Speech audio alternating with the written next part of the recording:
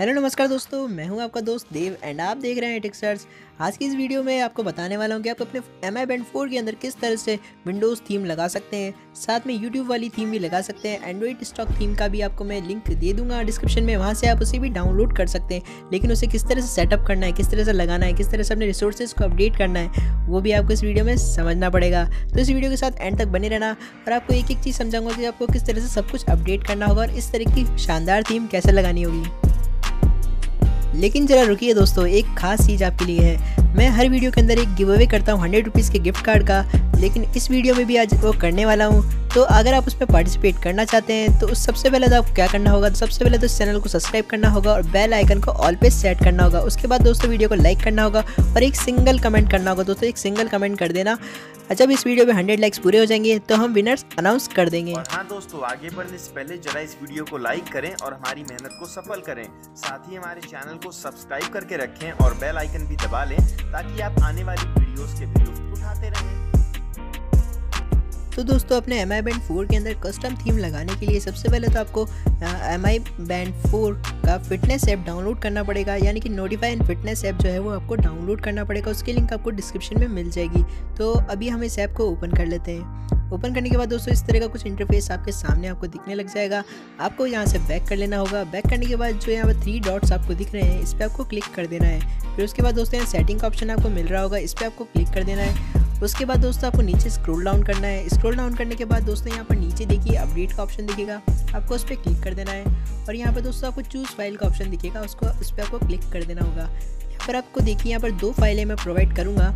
दो फाइल्स आपको प्रोवाइड करूँगा डिस्क्रिप्शन में। एक तो होगी रिसोर्सेज की फ़ाइल दूसरी होगी फिमवेयर की फ़ाइल और तीसरी वाली जो होगी हमारी थीम की फ़ाइल होगी, वो आप लगा सकते हैं।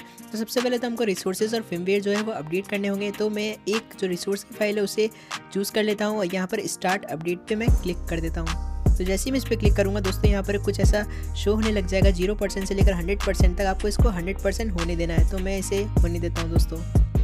तो दोस्तों, हमारा जो रिसोर्सेज है, वो तो अपडेट हो चुका है, लेकिन अब हमें उसमें फिमवेयर को अपडेट करना होगा। फिमवेयर अपडेट करने के लिए दोस्तों, जो मैंने सेकंड फ़ाइल आपको प्रोवाइड करी है, उसको आपको सेलेक्ट कर लेना है। सेलेक्ट करने के बाद दोस्तों, फिर से वही प्रोसेस करना है। स्टार्ट अपडेट पर आपको क्लिक कर देना है। इस पर क्लिक करने के बाद दोस्तों, वही आपके पास एक परसेंट वाला शो हो जाएगा। आपको ज़ीरो से इसको भी हंड्रेड परसेंट होने देना है। हंड्रेड परसेंट होने के बाद दोस्तों, इसमें थोड़ा सा टाइम लगता है। आपको थोड़ा सा वेट तो करना ही पड़ेगा। वेट करने के बाद दोस्तों, आपके सामने कुछ इस तरह का इंटरफेस आ जाएगा। तो दोस्तों, हमारा जो फिमवेयर और रिसोर्स है, वो दोनों ही अपडेट हो चुके हैं। अब हमें क्या करना होगा? हमें जो मेन थीम फ़ाइल है, उसको हम सेलेक्ट करना पड़ेगा। तो मैं अपनी मेन जो थीम फ़ाइल है, उसको मैं सेलेक्ट कर लेता हूँ यहाँ पे। और जो दो तीन एक्स्ट्रा फाइल्स मैं आपको प्रोवाइड कर दूँगा, एक विंडोज़ थीम वाली और एक यूट्यूब वाली थीम वाली।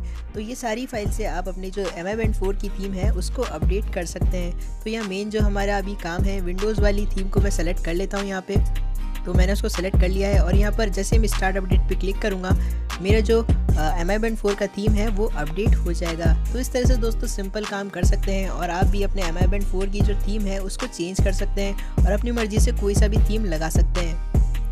तो दोस्तों, अगर वीडियो पसंद है तो वीडियो को ज़रूर एक लाइक कर देना, अपने दोस्तों के साथ शेयर कर देना और साथ में ही चैनल को ज़रूर सब्सक्राइब कर देना ताकि आगे भी इस तरह की कुछ वीडियोस आप देख सकें। और साथ ही दोस्तों, हमारे गिव अवे में पार्टिसिपेट करना बिल्कुल भी मत भूलना। उसकी जो, उसमें जब हमारी वीडियो पर हंड्रेड लाइक्स पूरे हो जाएँगे तो हम विनर का अनाउंसमेंट कर देंगे। तब तक के लिए गुड बाय।